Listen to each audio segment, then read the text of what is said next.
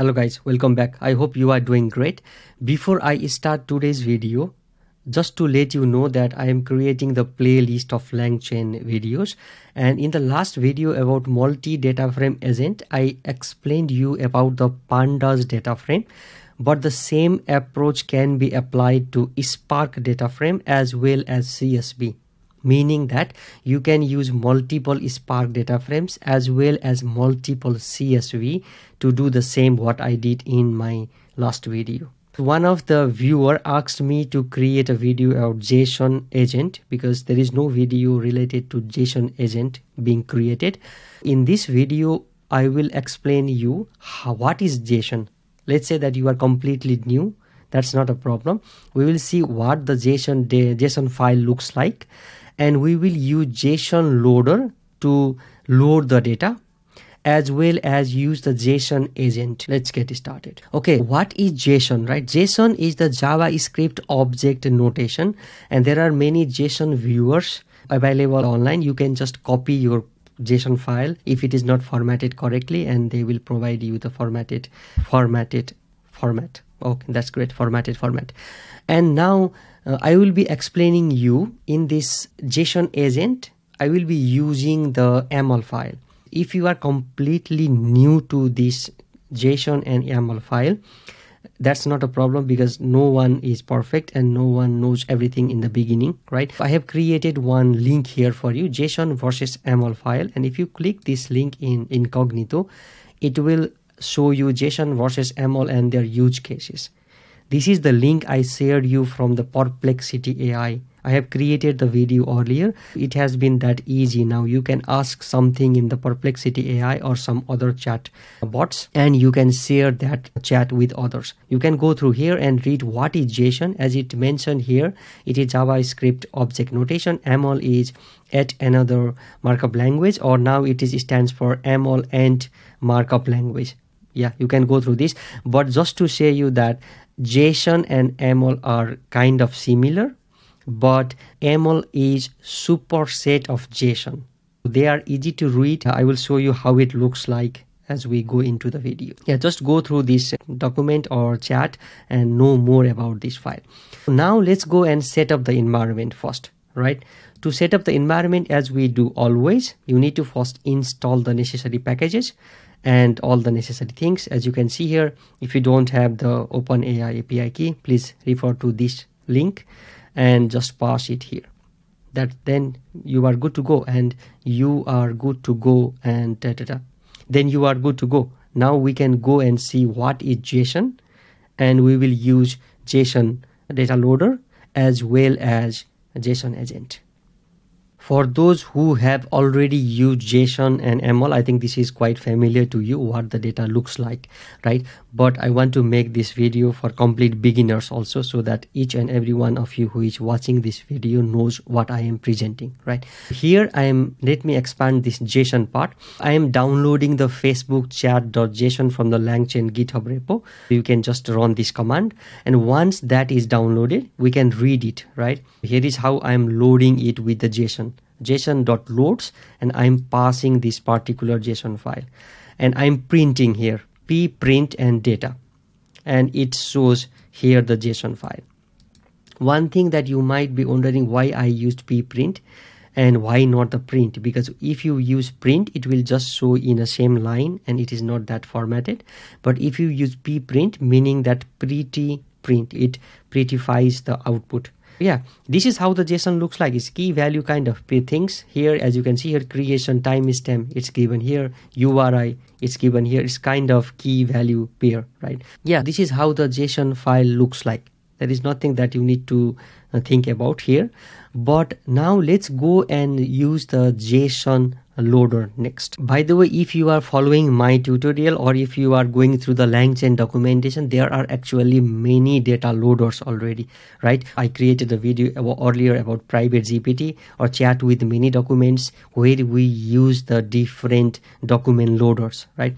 JSON loader is one of those document loaders and the JSON loader uses a specified JQ schema to parse the JSON files. I'm not going through this, but you can go through the link and see what is JQ because it uses the JQ Python package check this manual for detailed documentation of the JQ syntax because JQ has its own syntax. I'm not going through that right now because this is not the JQ video, but you get the idea. Now I can expand these cells. Here I am actually importing the JSON loader and I'm loading that particular Facebook chat.json. Why I'm taking the chat JSON is because this is what it is showing in the documentation also and it's kind of good because there is one chat here which says context by sender is user2 timestamp is here and there is another chat going on here and so on meaning that we have different documents right? We can create a different document out of it. Here that is what we are doing here. We are passing the jq schema here and the text content equals to false. This is what i needed to pass because it was see it was giving some error in the official documentation. You don't see it there. And then here we have data equals to loader dot load. That is how we load the things right? I hope you are familiar with this because this is similar to what we used to do with other data loader also. Now yeah then we print the particular data p print data. As you can see here it says page content by metadata and it is showing the source because this is the source it is being taken from and the sequence number is 1 sequence number is 2 and so on right? So that is great but what if we want to extract more metadata? Here we don't get the timestamp right? If you see here we have this let, let me go to one of the example. Here there is time stamp also right? But we didn't get that and also the sender name is user2 did we get here? No right? Let's get the metadata. So metadata is data behind the data because it's easier if we can extract all the information of the particular file right? It's quite easy with uh, json loader. Here we define a function called metadata function and there is a dictionary and there is dictionary. And the output is also a dictionary. Here you can see the metadata sender name and the metadata timestamp. That is what i said you right and record dot get sender name record dot get time stamp ms right? Then we return it. This is what we did what we did before and now we pass this metadata function into this json loader. And when we run this we will get here the same output but additional information. Here you see there is page content is by metadata there is source before also sequence number we had before also and now we have the sender name as well as the time stamp millisecond right? That is how we can extract the information from the json file using the json loader. Now let's go and see about the json agent right? Agent is designed to interact with large json or dict objects right? When it is needed that that might be the question for you right? This is useful when you want to answer questions about a json blob that's too large. Let's say that you have a json object of 5000 uh, rows and you want to extract some information out of it it will take you some time right? You need to do keyword search or you need to be focused and look all the things right? But we can take advantage of json agent in these scenarios the agent is able to iteratively explore the blob to find what it needs to answer the user's question. I will show you one example here. Let's let's go and see the JSON agent. I, I can expand this cell now. What I'm doing here is taking the OpenAI's Open API YAML file. By the way, if you are using the CI/CD pipelines, I think you know that is a YAML file being used, right? And in OpenAI API also there is the Open API YAML file. I downloaded this file here. And now we need to initialize the agent, right? What to do? We need to first import the necessary things here. And we open that particular YAML file and yaml.load and we load the file. And this is just the normal things that we are doing here. And there is the json toolkit. We are taking the json toolkit and spec as json spec. You can see there are chain being happening already. We open the file first right with yaml.full loader and we provided that data into the JSON spec and then that JSON spec is passed into the JSON toolkit. And now we created the agent. So here is JSON agent executor. If you just look at this there is the create JSON agent and we pass the large language model. We pass the toolkit that we just created and the verbose is true meaning that we want to see what is happening behind the scene right? So we want to get some information out of that particular file. Just to show you that it is quite long file.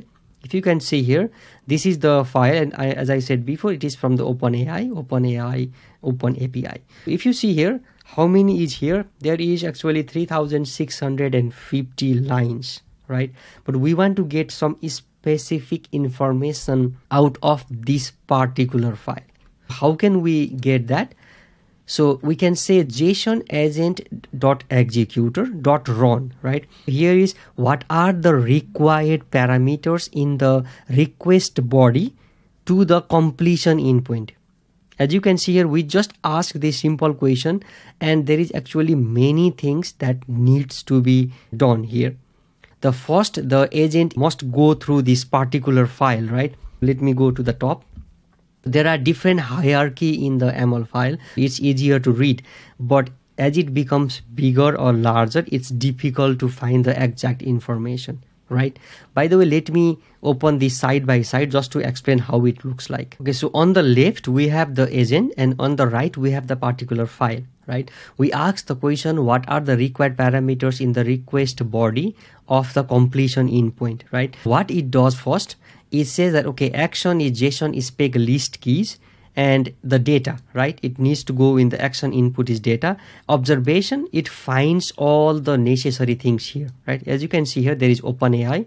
There is a hierarchy in the yaml file. And then there is the info. And there is some information about the info. And there is the servers. There is some information about the servers and tags and path and all the different things right? So it first finds okay there are different different observations.